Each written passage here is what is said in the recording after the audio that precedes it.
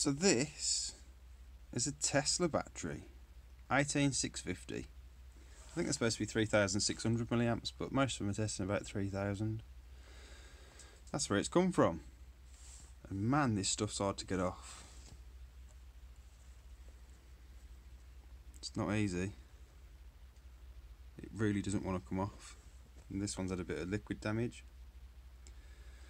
So we find the clean good cells and you break them out of that without damaging it. And then you've got to take all this stuff off.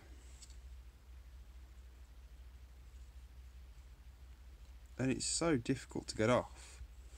I had to make my own tool. So I've made this which is like flat on this side. And then focus. So I've shaved the edge that side and left that one flush.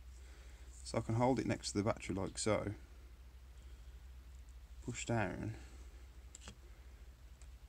And it chops that bit off. Quite difficult to do one-handed. But there you go. Something like that.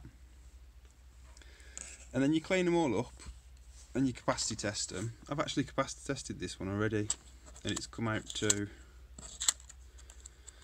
2915 which is pretty cool and I'm hopefully going to make my solar battery out of them um, I'll be doing that well now